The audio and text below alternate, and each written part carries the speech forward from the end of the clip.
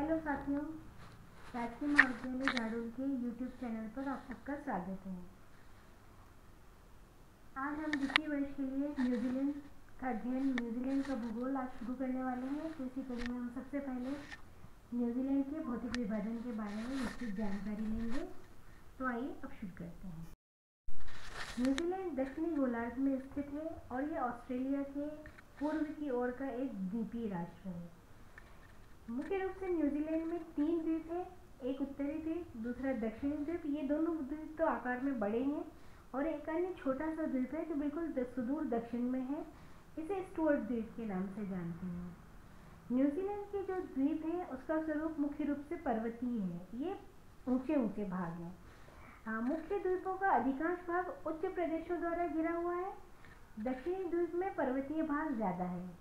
भौतिक विभाजन विभाजन की दृष्टि से हम इनको दो भागों में रख सकते हैं। उत्तरी द्वीप के भौतिक विभाग और दक्षिणी द्वीप के भौतिक विभाग। उत्तरी द्वीप के भौतिक विभाग। उत्तरी द्वीप को हम चार भौतिक विभागों में रख सकते हैं। ऑकलैंड प्रायद्वीप वेलिंगटन का मैदान, मध्य ज्वालामुखी क्षेत्र और पूर्व का पर्वतीय प्रदेश। तो सबसे पहले ऑकलैंड प्रायद्वीप उत्तरी द्वीप के उत्तर पश्चिम में एक लंबाकार, अत्यंत कटाफटा स्वरूप लिए हुए एक थलभाग आगे की ओर बढ़ गया है। इसे ऑकलैंड प्रायद्वीप के नाम से जानते हैं।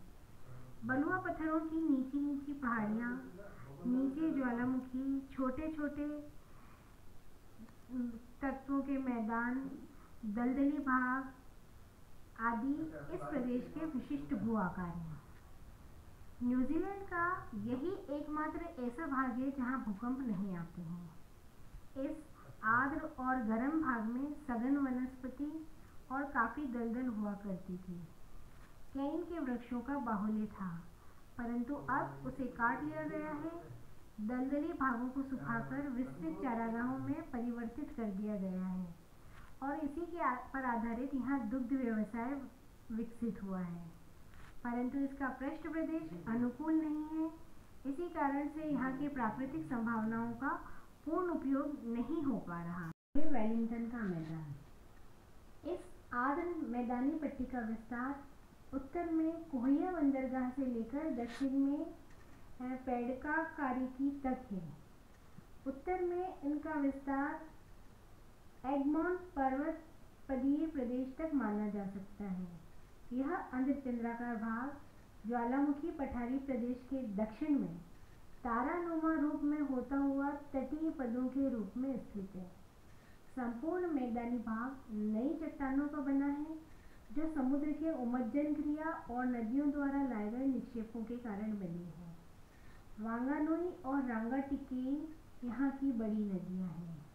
कछारी मिट्टी 100 सेंटीमीटर तक, वर्षा समतल धरातल पर यातायात सुविधाएँ और पृष्ठभूमि में वेलिंगटन की स्थिति आदि के कारण से यह भाग आर्थिक दृष्टि से महत्वपूर्ण और दूध व्यवसाय की दृष्टि से न्यूजीलैंड का अग्रणी प्रदेश बन गया है। तीसरा है ज्वालामुखी पठारी क्षेत्र। उत्तरी द्वीप के लगभग मध्य में यह ज्वालामुखी पठारी क्षेत्र स्थित है। उत्तर में उबड़ खाबड़ इस प्रदेश का विस्तार प्लेंटी की खाड़ी तक है। संपूर्ण प्रदेश में विशिष्ट ज्वालामुखी प्रदेश के भू आकार मिलते हैं। यत्र तत्र क्रेटर और उसमें विकसित हुई झीलें मिलती हैं। गर्म सोते और गीजर बहुतायत से मिलते हैं। काली मिट्टी का बहुत अधिक विस्तार है। यहाँ स्थित टोपो झील 1200 मीटर ऊँची पहाड़ियों के द्वारा अवतरित है और एक कटोरेनुमा बन गई है। दक्षिणी पूर्वी भाग में ऊंचाई ज़्यादा है और यहाँ विशाल ज्वालामुखी पर्वत हैं। जिसमें एगमोंट रूपापेहू, गोरूहो और टोंगा रीरी सबसे ऊँचे माने जाते हैं। अंतिम दो पर्वत क्रियाशील ज्वालामुखी के हैं। ये क्षेत्र अपनी प्राकृतिक सुंदरता के लिए विश्वविख्यात है। यहाँ पर एक जल विद्युत गृह भी बना हुआ है। उत्तरी द्वीप का छोटा भूभाग है पूर्वी पर्वतीय श्रेणियाँ। उत्तरी द्वीप के पूर्वी तट के सारे सारे संकरी पर्वत श्रृंखला है, जो दक्षिण पश्चिम से उत्तर पूर्व दिशा में फैली हुई है और खूब जलदंगु मध्य तक चली गई है। इसमें कई समानांतर श्रेणियाँ हैं और इनके बीच में घाटियाँ हैं। ये घाटियाँ मुख्यतः वी आकार की घाटियाँ हैं। इनकी ऊँची चोटियों पर वनस्पति पाई जाती है। होके की खाड़ी को छोड़कर शेष भाग दीवार की तरफ़ तरफ़ खड़ा हुआ है। दक्षिणी द्वीप के भौतिक विभाग। इसको भी हम चार भागों में रख सकते हैं। ओटेगो का पठार, कैंटबरी का मैदान, दक्षिणी आल्प्स पर्वत और फ्योर्ड तट। ओटेगो का पठार। दक्षिणी द्वीप के दक्षिण पूर्व में स्थित है यह अत्यंत ही कटा फटा और निचला पठारी भाग, जो साढ़े चार सौ मीटर तक ऊँचा है। संरचना की दृष्टि से यह अत्यंत जटिल है, क्योंकि यह नीस, शेस्ट, ग्रेनाइट आदि प्राचीन परतधर चट्टानों के नग्न होने के, से बना दिखाई पड़ता है।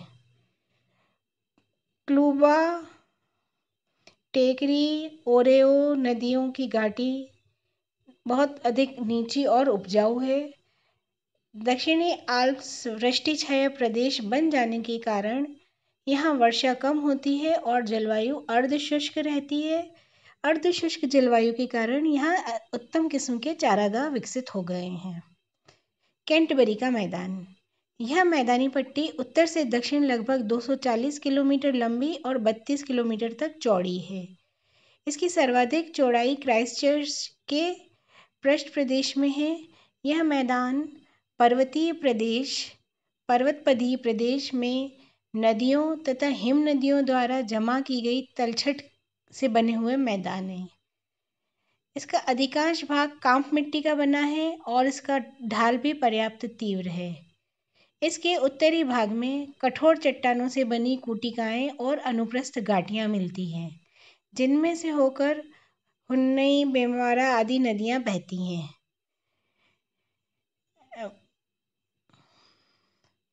इस प्रायद्वीपीय क्षेत्र में ज्वालामुखी, यह प्रायद्वीपीय क्षेत्र ज्वालामुखी क्रिया से बना हुआ है और यहाँ की जलवायु अपेक्षाकृत शुष्क है, परंतु वर्षा समान रूप से वितरित है। दक्षिणी आल्प्स पर्वत। इसको हम तीन भागों में रख सकते हैं, उत्तरी भाग, मध्यवर्ती भाग और दक्षिणी भाग। उत्तरी भाग। इसमें नेल्सन तथा मॉलबर्ग जिलों के भाग शामिल है। यहाँ पर्वत श्रृंखला श्रृंखलाबद्ध न होकर बीच बीच में घाटियाँ हैं, जिनमें से होकर नदियाँ बहती हैं। पर्वत नीचे और इनका विस्तार समुद्र तक है। मध्यवर्ती भाग। इस भाग में दक्षिणी आल्प सबसे ऊँचे और श्रृंखलाबद्ध है। न्यूजीलैंड की सबसे ऊँची चोटी माउंट कुक और माउंट तस्मान यहीं स्थित है। इसके अतिरिक्त लगभग पंद्रह चोटियाँ ऐसी हैं जिनकी ऊंचाई तीन हज़ार मीटर तक है। यहाँ अनेक झीलें भी मिलती हैं, जिनका ढाल उत्तर पश्चिम से दक्षिण पूर्व की ओर है। इस क्षेत्र से निकलने वाली सभी नदियाँ पर जल विद्युत गृह स्थापित हैं, दक्षिणी भाग। इस भाग का विस्तार सुदूर दक्षिण में कैमरून पर्वत से लेकर माउंट एस्पिरिंग तक माना जाता है। दक्षिणी आल्प्स अपेक्षाकृत नीचे हैं। इसका भाग ज़्यादा ही कटा फिटा है, जिसमें नदियों और झीलों के फ्योर्ड का बाहुल्य है। अंतिम भाग हिमनद या हिमाद्री।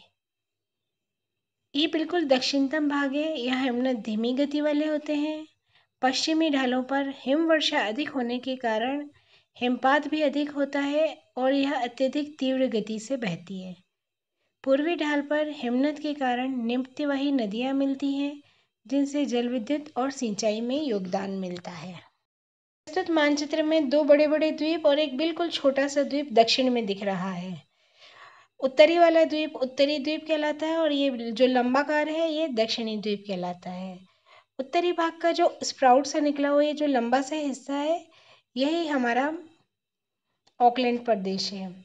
और इसके जो दक्षिण में ये जो स्प्राउट सा प्रायद्वीपीय भाग निकला हुआ है, ये वेलिंगटन का मैदान है। इसके बीच में ये जो बिंदु आकार है, ये ज्वालामुखी पठारी प्रदेश है। और ये जो पूर्वी तट पर रेखाकार लाइनों में जो है, ये इसका पर्वतीय प्रदेश है।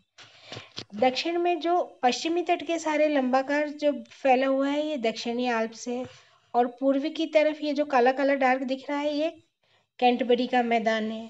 और इसके इधर जो दक्षिणतम भाग है, ये जो बिंदु आकार है, ये ओटेगो का पठार है। और जो दक्षिण पश्चिम में ये कटी फटी चीज़ें दिख रही है, ये इसका फ्योर्ड तट है। Thank you.